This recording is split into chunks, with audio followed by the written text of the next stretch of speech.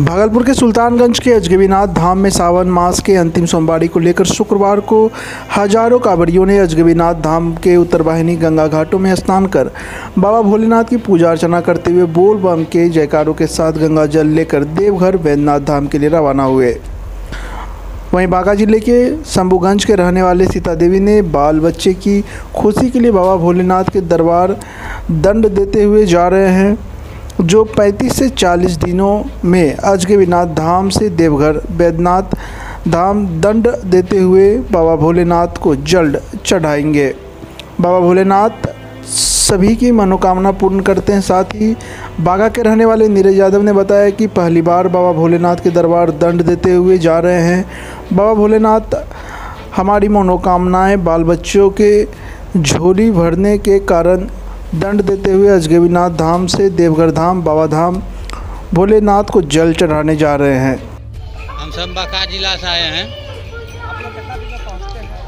देखो हम तो पहली बार जा रहे हैं। कोई कह रहा है पैंतीस दिन में कोई तीस दिन में। जान ले बाबा कोई मांगा था कोई चीज़ मन पूरा कर दिया इसीलिए जा रहे हैं। ऐसा क्या मन्नत थी जो पूरा हो गया? धन्यवाद यात्रा बाबा हाँ लड़के बच्चे नहीं हो रहा था बाबा को बोलने दिया तो उसी खुशी में जा रहे हैं। कहाँ घर हुआ बम? बोलो घर का है? कहाँ घर हुआ? कहाँ जा रही है? बाबा बाबा दरबार। पहली बार जा रही है? क्या नाम हुआ? गोद में कौन है? गोद में कौन है? छोटी बहन है? क्या नाम है? बोलो बोल बम। ज़ोर से बोलो। हैं। हाँ कब जल बाबा को चढ़ाएँगे आप? सोमवार सोमवार को। सोमवार को। पहली बार जा रहे हैं? यस कैसा लग रहा है बाबा? कबड़िया के हाँ बहुत अच्छा। लग रहा है। मन लग रहा है? हाँ क्या मांगने जा रहे हैं बाबा से इस बार? क्या मांगेंगे बाबा से? कुछ भी मांग लेंगे। क्या नाम हुआ? दीपांजलि मुस्कान। कहाँ से आई है? नाथ नगर से। तो मांग रहे हैं ऑटोमेटिक आ जाएगा और क्या बोल सकते हैं? अरे बोल। बोल कितने सालों से जा रहे हैं? पहली बार? नहीं अब की तीन साल। तीन साल से हैं? हाँ तीन साल।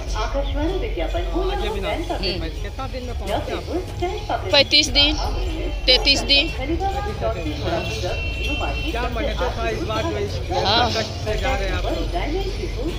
मनोकामना तो है सब बाल बच्चा परिवार खुशहाल